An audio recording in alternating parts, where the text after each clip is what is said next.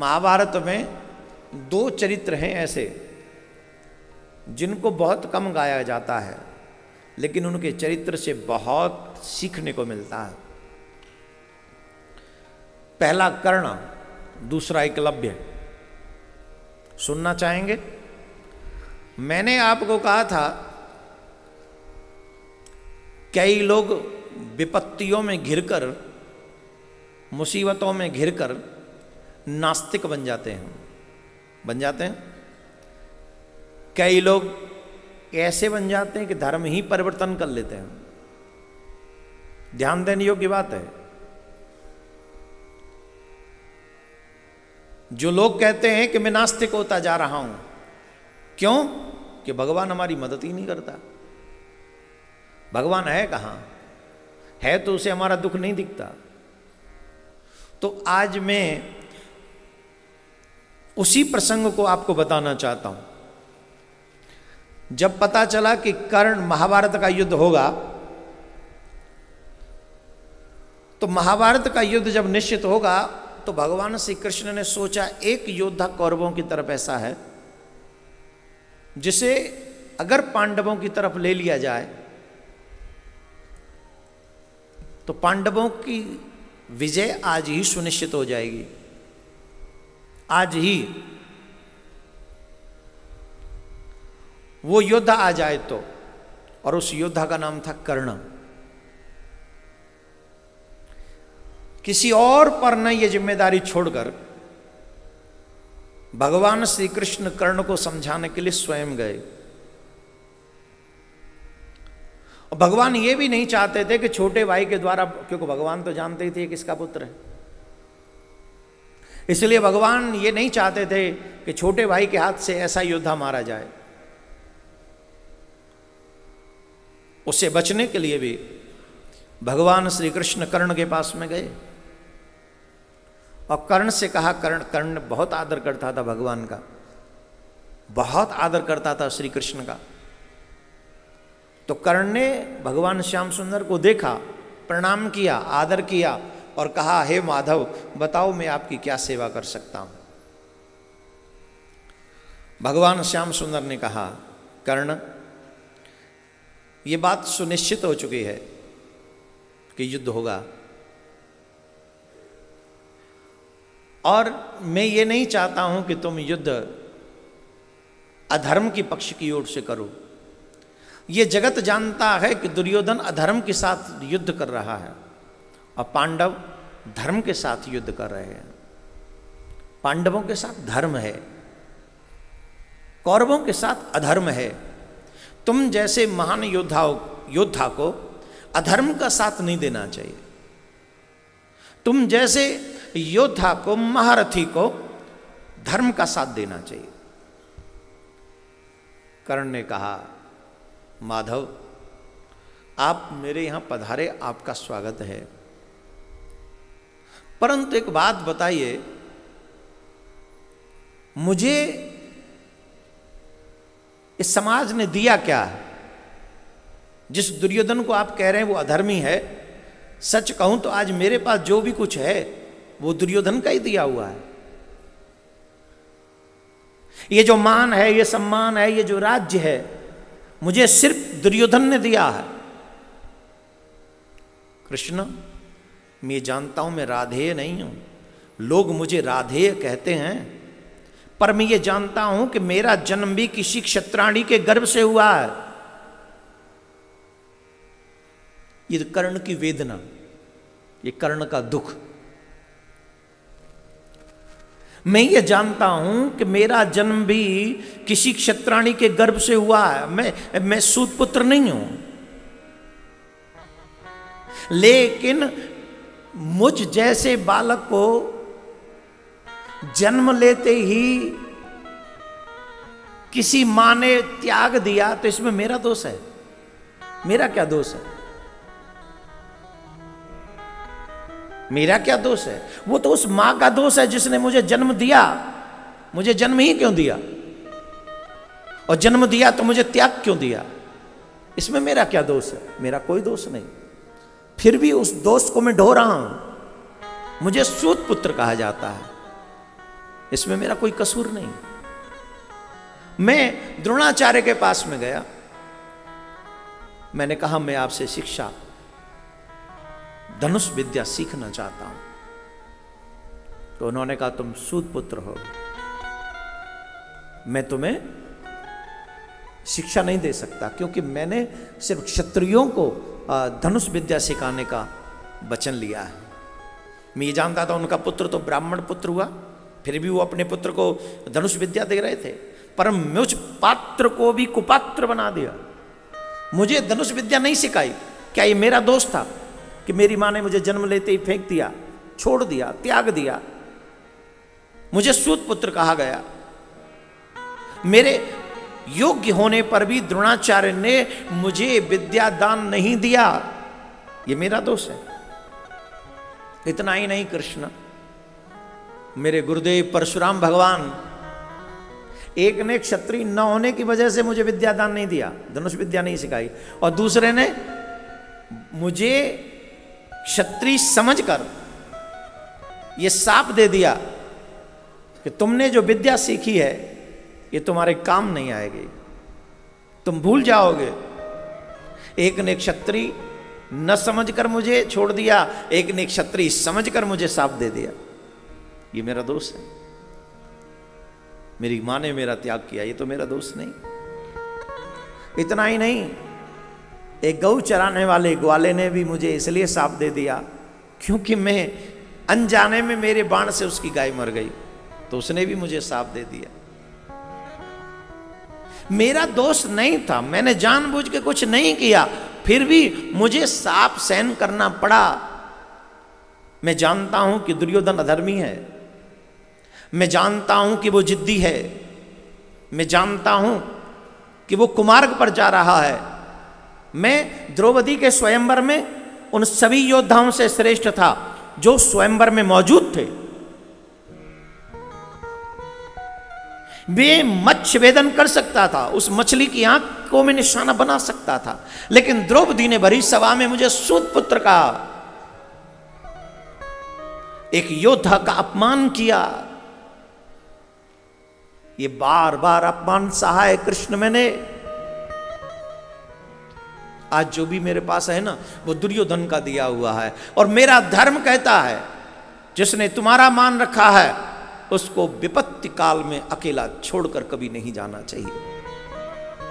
मैं अपने दुर्योधन के साथ खड़ा हूँ, माधव। वो मेरा मित्र है। मेरे पास जो कुछ है, वो उसी का दिया हुआ है। कृष्ण मुस्कुराए। सुनते रहे। बीच में नहीं बोले, डिस्टर्ब नहीं किया। सिर्फ़ सुनते रहे। सुनते गए सुनते गए। श्री कृष्ण ने कहा, हो गया? बोले, जी। बोले, सुनो, इतनी सी विपत्तियों में तुम अधर्म का साथ देने के लिए तैयार हो गए।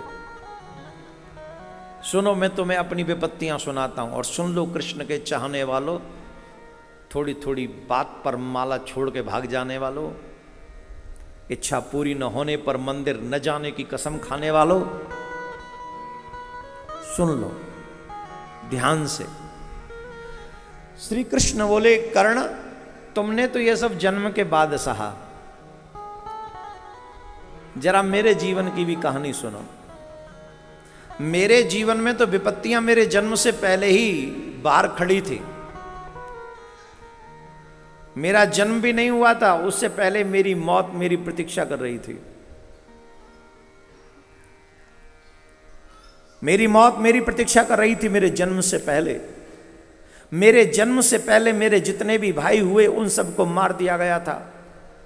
किसी और के हाथों से नहीं, मेरे मामा के हाथों से मार दिया गया था। मेरे जन्म से पहले।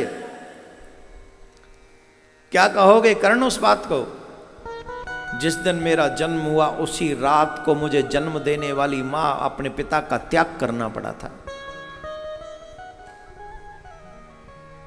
उसी दिन त्याग करना पड़ा मुझे, जिस दिन मेरा जन्म हुआ। थोड़ा सा बड़ा हुआ, मुझे विष पिलाने के लिए पूतना पहुँच गई। आग में जलाने की कोशिश की गई मुझे। आग में जलाने की कोशिश। बार बार अनेकों राक्षसों के द्वारा मुझे मरवाने की कोशिश की गई।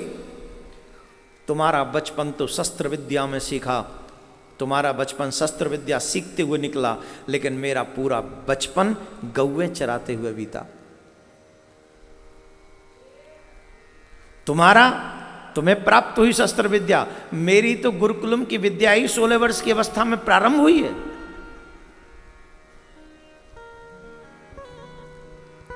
जन्म ली देने वाली माँ को छोड़ दिया कब? जन्म लेते ही और फिर ग्यारह वर्ष बाद उस माँ को भी छोड़ना पड़ा, जिस माँ ने मुझे पाल पोस के इतना बड़ा किया। अपनी प्यारी गोपियों को छोड़ के आना पड़ा, अपने प्यारे ग्वाल वालों को छोड़ के आना पड़ा, अपने मैया बाबा को छोड़ के आना पड़ा। इतना ही नहीं है। मथुरा आने पर भी जरासंध ने एक बार नहीं, सत्रह बार मेरे ऊपर चढ़ाई की। अपने लोगों की रक्षा करने के लिए मुझे अपना शहर छोड़ के जाना पड़ा।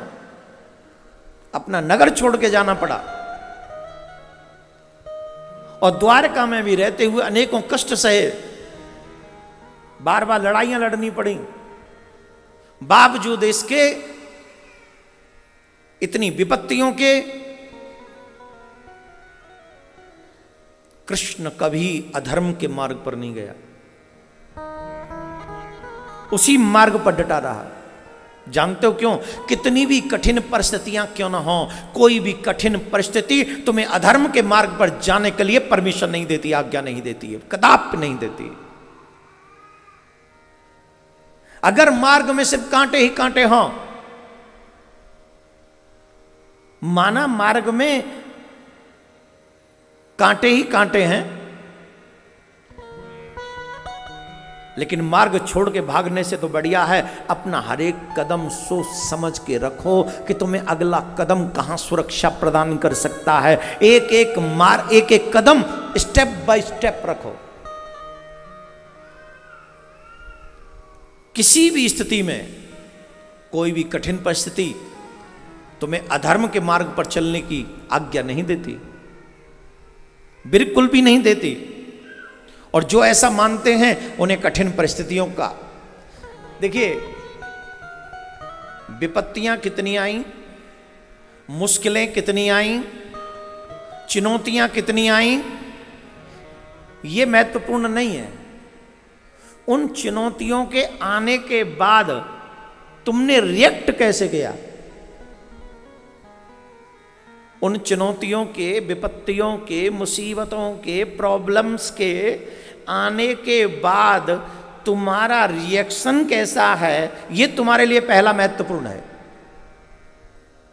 जब तुम्हारा रिएक्शन उसके मुताबिक हो, वो तुम्हें धर्मात्मा और अधर्मी बना देता है। माना रास्ता कांटों से भरा है, पर अगला कदम संभाल के रखो, ये थोड़ी ना मना है। माना रास्ता कांटों से भरा है, पर अगला कदम तुम सोच के रखो, ये थोड़ी ना मना है। चुनौतियाँ, दुख, मुसीबत, परेशानियों से घबराकर जो व्यक्ति कुमार्ग पर चला जाता है, वो एक जन्म नहीं, अनेकों जन्मों को बर्बाद कर लेता है। मनुष्य जीवन ही ऐसा है, जिसमें हर एक कष्ट को सहते हुए भी जो धर्म के मार्ग पर चलता रहता है, वही मेरे गोविंद को प्राप्त कर पाता है। क्या बोलना पड़ेगा? ज़ोर से। अब बताइए, समझाने वाले कौन? श्री कृष्ण दुर्योधन की तो बात छोड़ो, कर्ण भी समझा गया। इतना सुंदर उपदेश भगवान ने दिया, इसके बाद भी कर्ण व्यापक धर्म को समझ नहीं सका। धर्म बड़ा व्यापक है। मनुष्य जीवन मिला ही इसलिए है, जिसमें हम कठिन से कठिन परिस्थिति का सामना करें। अपने से जिनको हम भगवान कहते हैं, चाहे वो राम जी हों, चाहे वो कृष्ण हों, उनके चरित्रों को पढ़ो और ध्यान से पढ़ो। और ध्यान से पढ़कर देखो कि कठिन परिस्थिति में भगवान ने भी कहीं धर्म का त्याग किया क्या? उन अच्छा राम जी की तो बात अलग है। वो उन्होंने तो सीधे सीधे कहा कि जो हो जाए हो जाए, मैं तो कुछ कृष्ण जी की बात अलग है। कृष्ण जी कहते हैं, मैं झूठ भी बोलूँगा तो धर्म की रक्षा के लिए। मैं चोरी भी करूँगा तो धर्म की रक्षा के लिए। मैं रण छोड़ भी नाम रखवाऊँगा तो धर्म की रक्षा के लिए। मैं युद्ध भी नहीं लड़ूँगा तो धर्म की रक्षा के लिए। और बिना लड़े भी युद्ध जितवा दूँगा तो भी धर्म की रक्षा के लिए।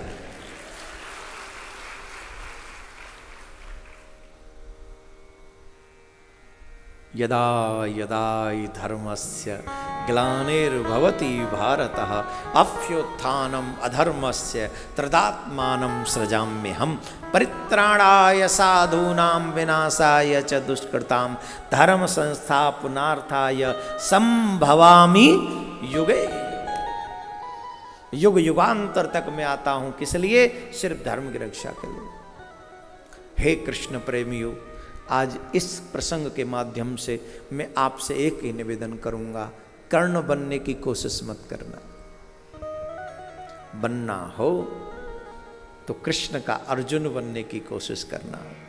कर्ण कर्ण में और अर्जुन में अंतर है। बलवान तो कर्ण भी बहुत है।